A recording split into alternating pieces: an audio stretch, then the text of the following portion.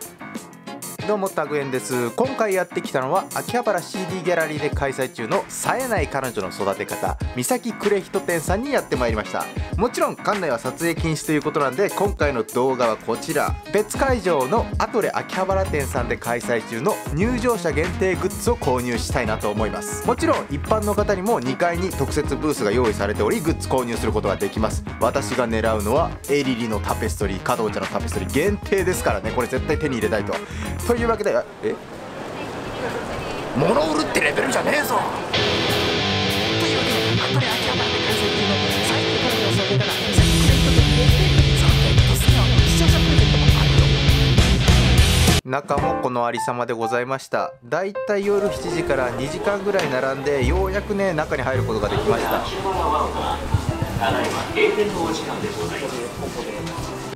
店内もだいぶ薄暗くなってきましたがもう少しでレジっていうとこまで来ましたただいまお出ましのお客様どうぞ。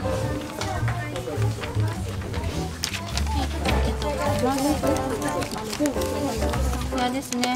えっ、とすいませんこちらの方今売り切れとなっております。売り切れああそうです。すいません他に何かご購入されるものはございますか？と今売り切れになってるのがこちらあ全部ないですか？全部売り切れ。こっちとあとえっ、とここですね。買いました。あの本当にいやエリリのが欲しかった。確かにエリリの欲しかったんだけども売り切れで仕方ないっていうことなんでもう唯一ね全部で7種類あったのかなタペストリー。で唯一、えー残ってた1種類。えー8000円で多分一番値が張ったから多分残ってたと思うんだけど、まあ、でも今回の多分一番の目玉のタペストリーじゃないかなと思います。今回の展示の、まあ、キービジュアルのね絵が描かれているということでいやーもうこれ結構大きいですよこれ。横が100センチ。で縦が70センチあんのかな。めちゃくちゃでかいですこれ。まだ開けてないんで開封していきますこれ絶対やばいと思う。もう見る前から分かる。これやばいやつやこれ。絶対やばいもんこれ。あこれやばいわ絶対。うわーすごい。あすご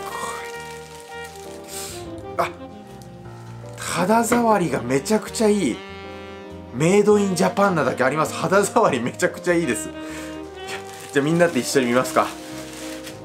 ここが表かな。これ絶対やばいと思うな。これやばいよ絶対。えこれやばいんじゃない？あわすごい！めちゃくちゃ綺麗。めちゃくちゃ綺麗だこれ。えめちゃくちゃ綺麗これ。これすごいいいな。ちょっと待ってこれ入るかな？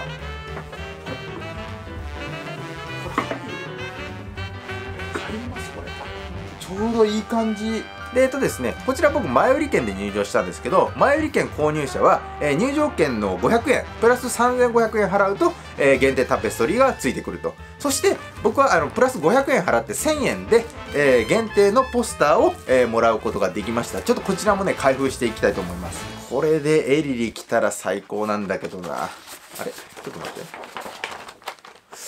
うん一緒ですね。全く同じのやつですね。僕が買ったタペストリーとまあロゴが入ってるぐらいの違いですね。いやちょっとこれ2つあるとちょっと困るな。2つは貼らないからな。まあまあいいポスターであるんで。じゃあ分かりました。こちらあの視聴者プレゼントにしましょう。ちょっと番組の最後で、えープレゼントの応募方法を書きますんで。こちら視聴者プレゼントで。ここから展示会の感想になるんですけどもうとりあえずエロかった。うん。もう本当にね入った瞬間からエリリが手ぶらしてたりとかもう歌羽先輩加藤ちゃんのもうあの判判決っていうかね もうお尻も見えてるしとりあえずねエロかったですね。あとよ特に良かったのがあのエリリのねいつも絵描いてる美術室のまあセットがねもう作られてたりとかジャージが無造作に置かれてたりとか黒縁眼鏡が置いてあったりとかセットも組まれてたりとかもうサエカノの世界がそこにはあるんです。もう本当に世界に入り込んだみたいな感じの感覚にしてくれるね、まあ、展示もあったりと。あと最後に来るのがあの加トちゃんの桜並木のね。あの加藤ちゃんの桜並木のワンシーンを再現したであろうもう360度部屋の中がもう桜になってるっていう部屋があってそこがものすごくいい。もう本当に劇場版につながるなっていう感じのね素晴らしかったです。本当に1時間じゃ物足りないぐらいのねクオリティでした展示会も。まあこれ500円払ってみたらさっきのね、まあ、僕が見せた限定タペストリーとかが買える、まあ、シートがもらえるんで、まあ、それを持って秋葉の駅前のアトレの2階に行くっていう形になりますね。まあで僕がさっき買えなかったグッズなんですけど23日後にはまたねあの補充するって言ってたんで店員さんが。まあ襟漁師の方も全然ねまだまだ諦めずにまあ行っていただきたいなと思います。というわけでもう素晴らしい素晴らしい三崎クレヒト店のレビューになりました。以上です。